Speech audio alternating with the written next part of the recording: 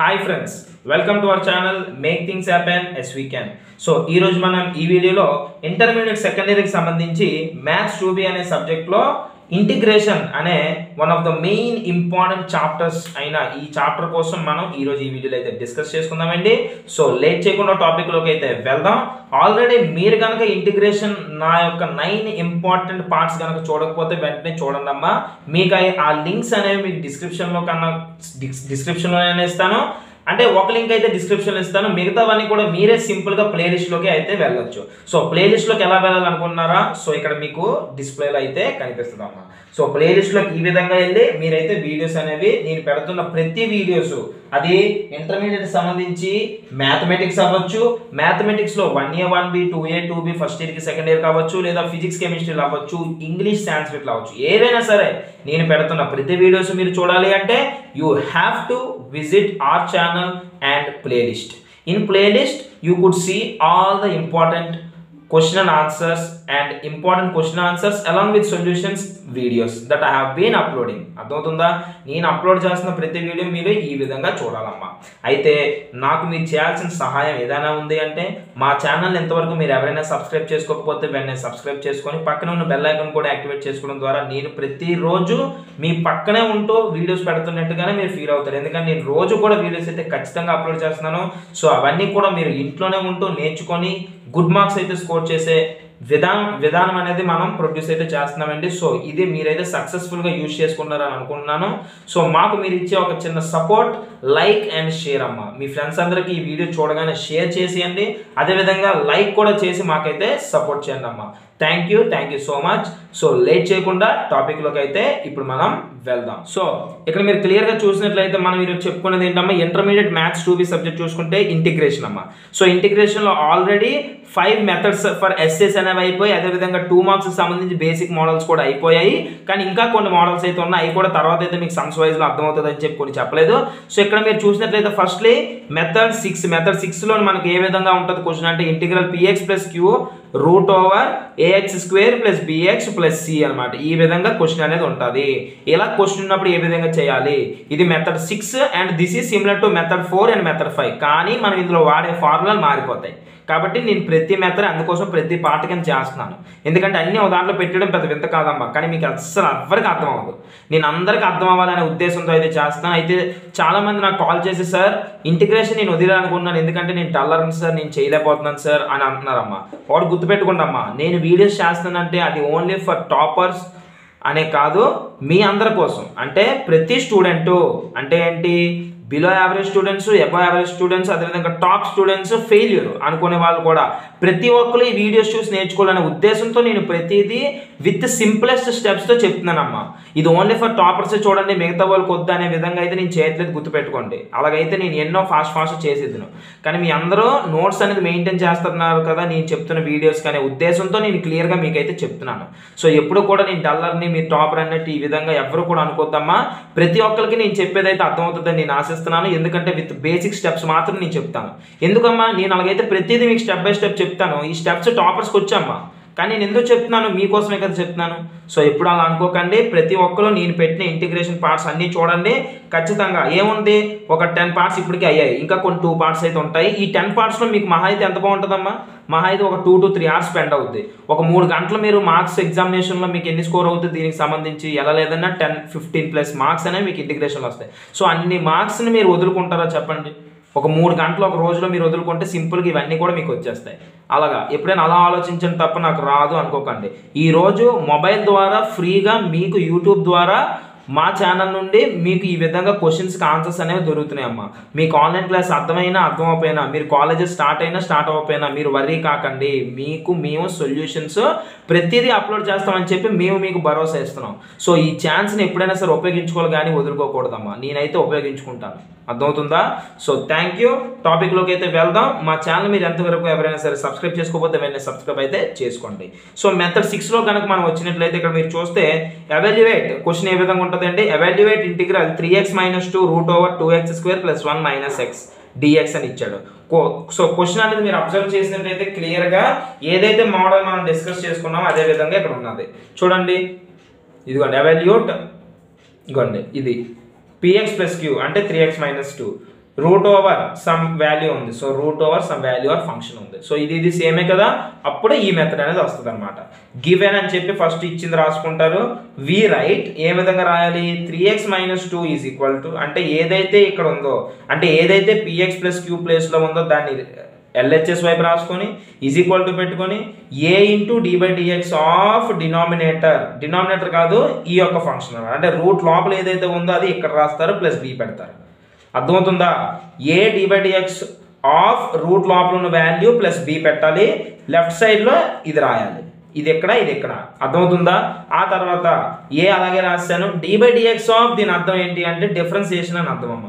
So already మీ మీలో ఎవరికైనా second year students differentiation రాకపోతే నేను ఫస్ట్ ఇయర్కి సంబంధించి వన్ బి సబ్జెక్ట్లో డిఫరెన్సియేషన్ని క్లియర్గా స్టెప్ బై స్టెప్ మళ్ళీ స్టార్ట్ చేశాను. మీకు ఎలాగైతే ఇంటిగ్రేషన్ పెడుతున్నాను అలాగే డిఫరెన్సియేషన్ కూడా పెడుతున్నానమ్మా సో మీరు అవి చూసి ఇవి చూడండి మీకు ఇంకా ఈజీగా ఉంటుంది.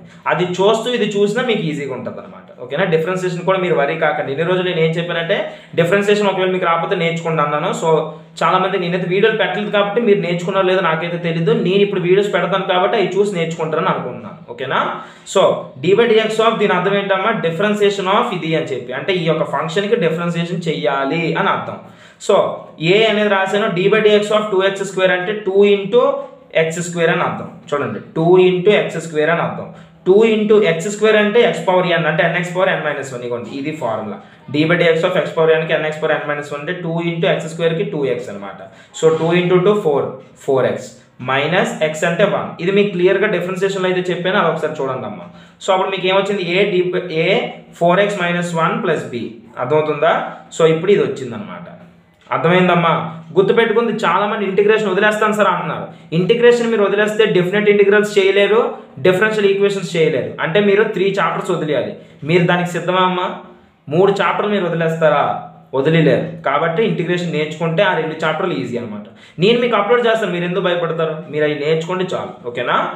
సో ఏ ఇంటూ ఇది వచ్చింది. సో ఇది ఏదైతే వచ్చిందో అది ఇక్కడ రాసింది. Three x minus two equal to a into four x minus one plus b అనేది మనకు వచ్చింది. ఇప్పుడు నెక్స్ట్ స్టెప్ ఏంటంటే on comparing the coefficients of above x coefficients ఈ మీకు ఇది కొత్తగా కానీ అనిపించినట్లయితే ఈ ముందు పార్ట్లు చూడండి అమ్మా ఈ ముందు పార్ట్ నైన్ ఎయిట్ సెవెన్ నుండి చూస్తే మీకు క్లియర్గా అర్థమవుతుంది సో ఇప్పుడు on comparing the coefficients coefficients x కొఫిషియన్లు first compare చేసాం తర్వాత కాన్స్టెంట్లు కంపేర్ చేసాం. ఎక్స్ కోఫిషియన్ అంటే ఎక్స్ ముందు ఉన్నది త్రీ కాబట్టి three is equal to x మూడు ఉన్నది four into a four a so three equal to four a చేశారు ఓకేనా so a equal to three by four అంటే ఏ వాల్యూ ఎంత వచ్చిందమ్మా? త్రీ బై ఫోర్ వచ్చింది.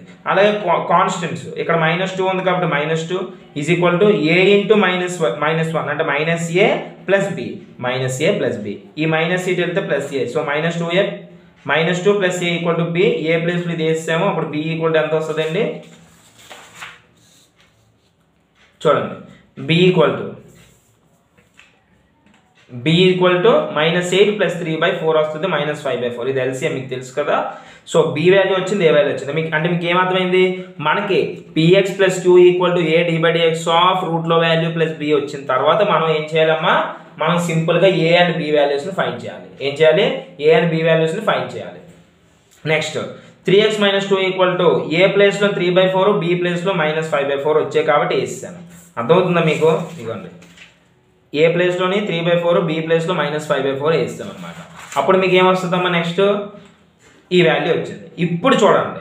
ఇప్పుడు ఇది only for three x minus దీని అర్థం ఏంటి? త్రీ ఎక్స్ మైనస్ టూకి ఇది వచ్చింది. అంతేనా? ఓన్లీ ఫర్ దీనికి ఇదంతా వాల్యూ అనమాట ఇదంతా కూడా దీనికి మాత్రమే. మన క్వశ్చన్ అది ఒకటేనా? క్వశ్చన్ ఏంటండి? క్వశ్చన్ ఇదంతా కదా. మనకు దీనికే వచ్చిందంటే ఇది కూడా మనకు రాయాలి కదా. సో ఇది దాన్ని ఇంటూ చేసి చేస్తాం అనమాట ఇప్పుడు క్వశ్చన్ మొత్తం రాసుకొని ఆ త్రీ ఎక్స్ మైనస్ టూలో వచ్చింది సబ్జెక్ట్ చేయాలి. ఇదిగోండి ఇది question question three x minus టూకి ఏదైతే వచ్చిందో అది ఇక్కడ రాశాను. ఇంటూ రూట్ ఉంది కాబట్టి ఇది రాశాను. సో ఇది క్వశ్చన్ అనమాట ఇప్పుడు ఇక్కడ నుండి అసలైన సాల్వింగ్ అనేది ఉంటుంది. Okay so three by four four x minus one minus five by four into ఎందుకంటే దీని ప్లేస్లో ఉంది కాబట్టి ఇంటూ మిగతాది రాస్తాను దీని అర్థం ఏంటంటే ఈ రూట్లో ఉండే వాల్యూ దీనికి చెందుతుంది? దీనికి చెందుతుంది. అంతేనా? ఈ రూట్లో ఉన్న వాల్యూ దీనికి చెందుతుంది మైనస్ తర్వాత ఉన్న దానికి చెందుతుంది. సో దీన్ని సపరేట్ చేయండి. ఇది ఇంటూ ఇది చేశాను ఇక్కడ. మైనస్ ఎందుకంటే మైనస్ ఉంది. ఫైవ్ బై ఫోర్ ఇంటూ ఇది చేశాను. అర్థమైందా? ఫైవ్ బై ఫోర్కి చెందింది. ఈ three by four four x minus ఫోర్కి కూడా చెందింది. అర్థమవుతుందమ్మా? ఈ రూట్లో వాల్యూ దీనికి చెందింది దీనికి చెందింది. రెండింటికి కూడా సపరేట్ చేశాను ఓకే? అయితే మీకు అర్థమైపోవచ్చు ఇది. చిన్న బేసిక్ స్టెప్ అయితే చెప్తాను చూడండి. ఇది ఏ విధంగా ఉంది? A minus b into x అన్నట్టు ఉంది. రూట్ ఎక్స్ ఉంది అనుకుందాం. A into b minus root x ఉందంటే దీని అర్థం ఏమవుతుంది a root x minus b root x అంతేనా? అలాగే నేను కూడా ఏం చేశాను? ఇది రూట్ ఎక్స్ అనుకుంటే రూట్ ఎక్స్ ఇది ఏ అనుకుంటే a root x minus b అనుకుంటే బి రూట్ ఎక్స్ అర్థమైందా? సపరేషన్ అంటే అదనమాట. సో ఇది కాన్స్టెంట్ కాబట్టి బయట రాశాను ఇంటిగ్రల్ ఇక్కడ చేశాను? కాన్స్టెంట్ కూడా బయట రాశాను ఇంటిగ్రల్ ఇక్కడ చేశాను? లేకపోతే ఇంటిగ్రేషన్ ఇటే అవుతాను కానీ కాన్స్టెంట్లు బయటకు వచ్చారు కాబట్టి ఇక్కడ చేశాను. ఇప్పుడు మీరు ఇది అబ్జర్వ్ చేస్తే ఇది ఏ విధంగా ఉంది అనేది మీరు ఇప్పుడు గమనించాలి. ఇది ఏ విధంగా ఉంది అంటే ఈ ఫార్ములా ఇంపార్టెంట్ అమ్మ. Integral f dash x into f power n x d x is equal to f power n plus one x by n plus one plus c అంటే f of x whole power n plus one by n plus one plus c ఇది formula అమ్మ ఇంటిగ్రేషన్లో one of the main important formulas ever so ఈ ఫార్ములాలో ఉన్నట్లయితే మీరు ఇది చేయాలన్నమాట. ఇది ఈ విధంగా ఉందో లేదో చూద్దాం. చూడండి ఎఫ్ డాష్ ఎక్స్ అన్నాడు f power n plus one అన్నాడు. ఇది ఈ విధంగా ఉందా? దీన్నే నేను ఈ విధంగా రాశాను. ఏ విధంగా?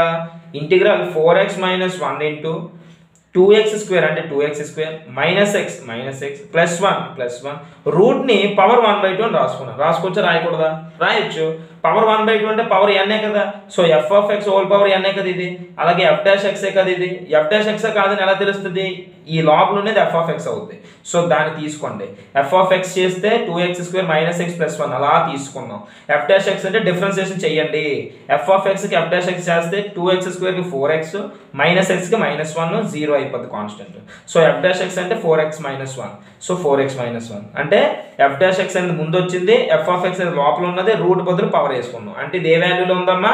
This is similar to this f dash x f of f power and x d x అంటే ఈ విధంగా ఉంది. కాబట్టి దీన్ని మనం ఏం చేస్తామండి? ఎఫ్ ఆఫ్ అంటే f of x whole power n plus one by n plus one లేదా f power n plus one by x by n plus one plus c అంటే ఈ విధంగా ఉంది కాబట్టి ఇది అప్లై చేసాం. ఇప్పుడు a plus b whole square ఉంటే a square plus b square plus two a b ఎలాగైతే అప్లై చేస్తారో ఈ ఫార్ములా ఇది ఉంది కాబట్టి ఇది అప్లై చేసాం.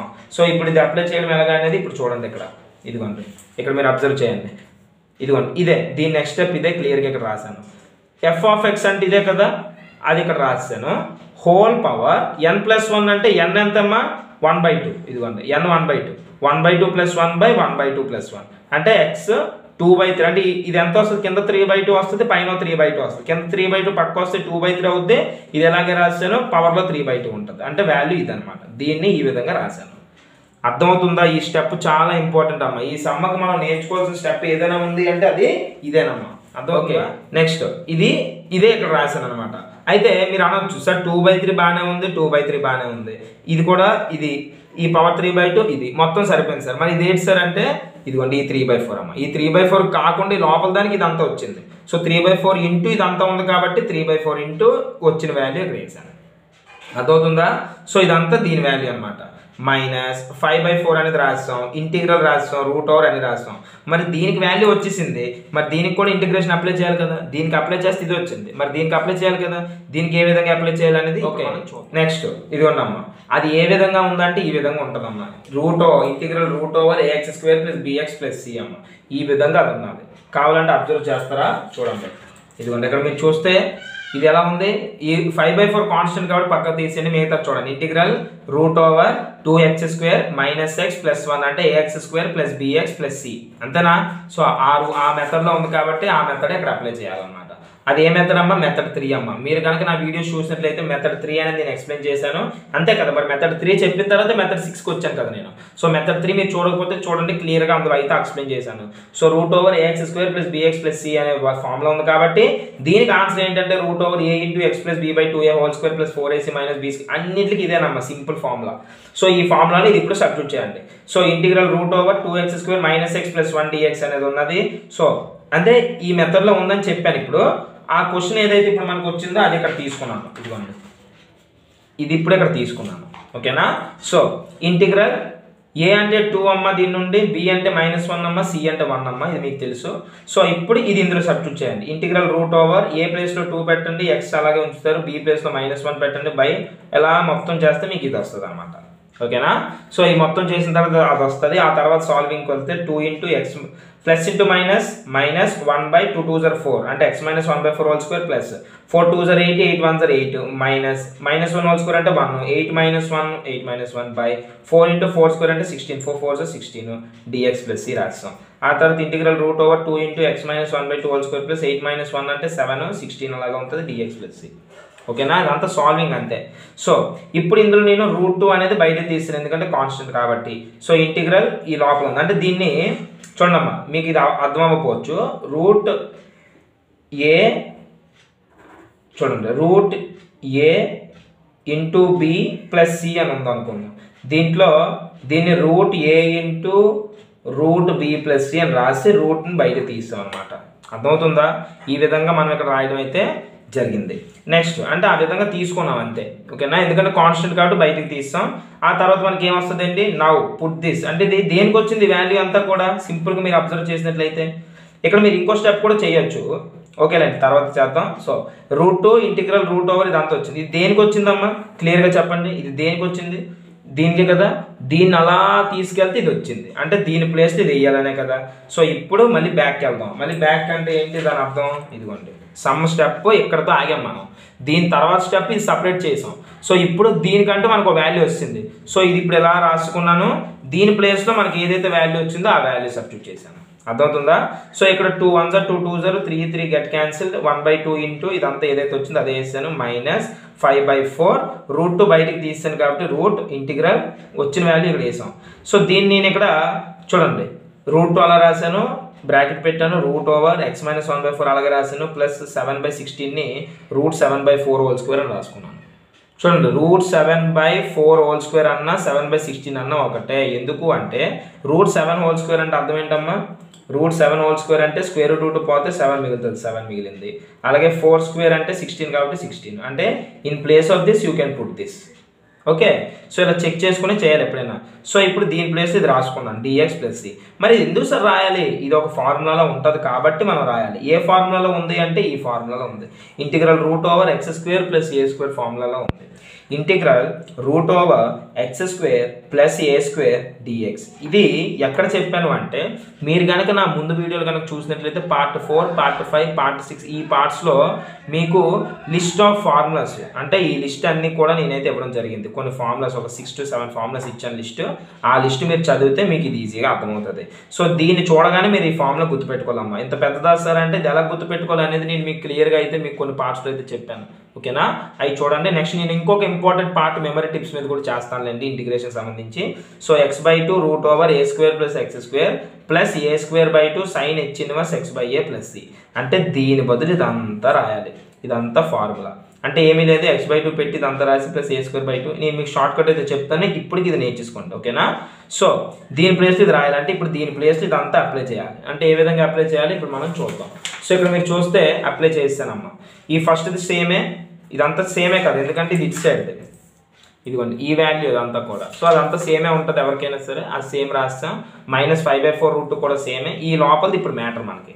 ఏంటి ఎక్స్ బై టూ అన్నాం కాబట్టి ఇది అంతా ఎక్స్ ఇది by two root over a square plus x square plus okay a square by two sine h inverse x by a plus c సరిపోయిందా లేదా? అంతే.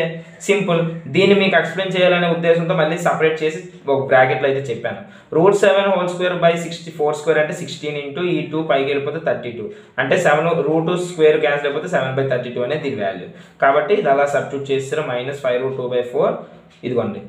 ఇప్పుడు ఈ టూ అంటే పక్క వచ్చేస్తుంది. అంటే one by two x minus one by four root over మళ్ళీ సేమే plus seven by thirty two దీని వాల్యూ. సైన్ హెచ్ ఇన్వర్స్ దీని అర్థం ఏంటమ్మా? బై వన్ ఉంటుంది. వన్కి ఫోర్కి ఎల్సిఎం ఫోర్ కాబట్టి four x minus one by four root seven by four ఈ ఫోర్ ఈ ఫోర్ పోతే మీకు ఇది మిగులుతుంది. అంటే దాని అర్థం four x minus one by root seven plus c అంటే ఇక్కడతో ఎండ్ అయిందన్నమాట. సమ్ము ఈ విధంగా మీరు చేయాలి. ఇంత పెద్ద సార్ అంటే చాలా సింపుల్ అమ్మ. ఇక్కడ మీరు గుర్తుపెట్టుకోవాల్సిన ఫార్ములా ఏదైనా ఉంది అంటే అది ఏంటండి? మీకు ఇందాక చెప్పాను. F dash x into f power n x integral ఇదే ఇది ఒక్కటి గుర్తుపెట్టుకుంటే మీకు సరిపోద్దమ్మా. F of x n plus one by n plus one plus c ఇదే ఫార్ములా ఈ ఫార్ములా అనేది ఈ చా ఇందులో చేంజ్ అయింది దీని ముందు చా అంటే పార్ట్స్ ఎవరైతే చూస్తున్నారో ఇప్పుడు దీని ముందు ఎవరైతే చూసి చూస్తున్నారో చాలా ఈజీగా అర్థమవుతుంది నాకు తెలుసు. కానీ ఇదే ఫస్ట్ టైం కనుక చూస్తే మీకు అస్సలు ఏం అర్థం కాదు. నా వీడియోస్ అన్నీ మీరు పార్ట్ వన్ నుండి ఇంటిగ్రేషన్ చూస్తేనే అర్థమవుతామ్మా చెప్తున్నాను కదా మీరు టైం ఎంత స్పెండ్ చేసుకుంటే అంత బాగా మీకు అర్థమవుతుంది. మీరు నా వీడియోస్ చూసి కూడా గుర్తుపెట్టేసుకోవచ్చు ఇంకా డైరెక్ట్ మీరు ప్రాక్టీస్ కూడా చేయక్కర్లేదు. అర్థమవుతుందా? సో ఇదే అండి. ఈరోజు మనం డిస్కస్ చేసుకునేది ఇంటిగ్రేషన్. సో నేను నా నెక్స్ట్ వీడియోలో ఇంటిగ్రేషన్ లో ఉన్న ఫార్ములాలు ఏ విధంగా చేయాలి? అంటే సింపుల్గా ఏ విధంగా గుర్తుపెట్టుకోవాలని నేను మీకు ఎక్స్ప్లెయిన్ చేస్తాను మీరేం వరీ కాకండి. So see you in my next video so ఎంతవరకు మా ఛానల్ మీరు ఎవరైనా సరే సబ్స్క్రైబ్ చేసుకోకపోతే వెంటనే సబ్స్క్రైబ్ చేసుకొని పక్కన ఉన్న బెల్ ఐకన్ కూడా యాక్టివేట్ చేసుకోవడం ద్వారా నేను ఫర్దర్గా పెట్టే ప్రతి వీడియో మీకు మొదటిగా నోటిఫికేషన్ కింద రావడం అయితే జరుగుతుంది. ఈ వీడియోని ఎంతవరకు లైక్ చేయకపోతే లైక్ అయితే చేసి మాకైతే సపోర్ట్ చేయండి. మీ ఫ్రెండ్స్ అందరికీ షేర్ చేయండి. Thank you thank you so much